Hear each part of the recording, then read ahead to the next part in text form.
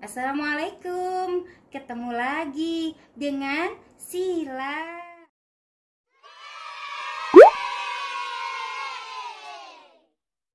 Wah, kali ini Sila mau mengajak untuk mendengarkan kisah berikutnya.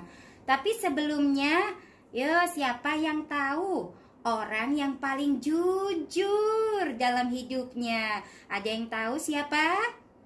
Benar, dialah Rasulullah Muhammad Sallallahu Alaihi Wasallam. Yuk kita lihat kisah berikutnya. Bismillahirrahmanirrahim. Jujur seperti Rasulullah Muhammad Sallallahu Alaihi Wasallam.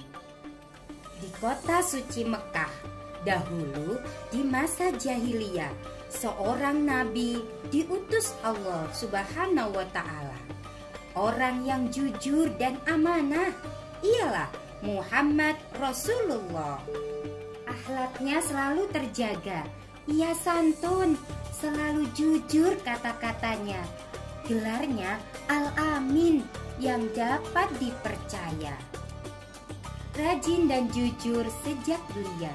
Muhammad Shallallahu Alaihi Wasallam dipercaya menjadi gembala. Teman-temannya pun suka karena ramah dan baik hatinya. Juga sopan kalau bercanda pemuda Muhammad Shallallahu Alaihi Wasallam menjadi seorang pedagang. Ia jujur menjelaskan keadaan barang. Ia tepat dalam menimbang. Pembeli pun senang, usahanya pun berkembang.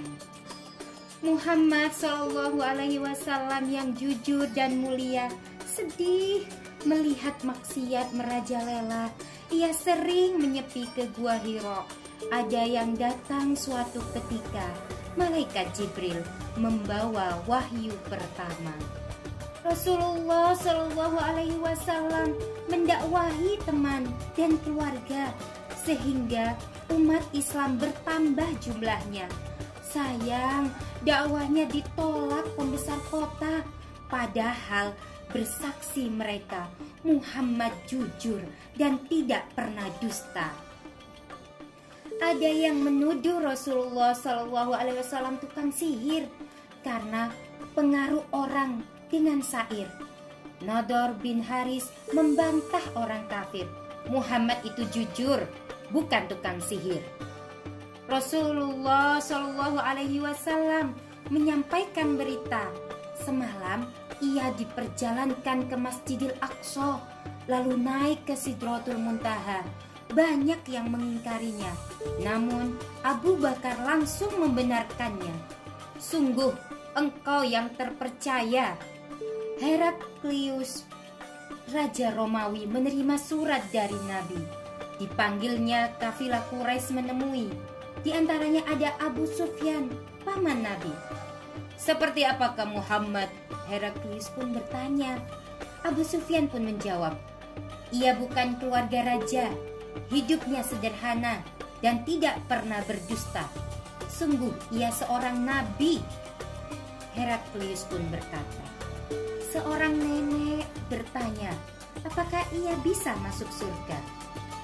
Di surga tidak ada nenek-nenek. Nabi bercanda. Sang nenek sedih tak terkira. Nabi tersenyum dan menghiburnya. Di surga kelak, nenek kembali muda dan jelita.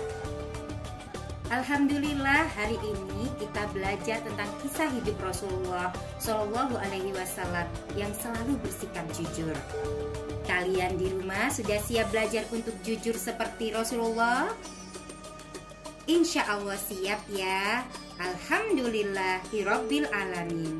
Assalamualaikum. Ciluk bah. Hai. Jangan lupa ya. Subscribe, like, and share. Nanti Sila akan berkisah lagi. Tunggu ya kisah selanjutnya.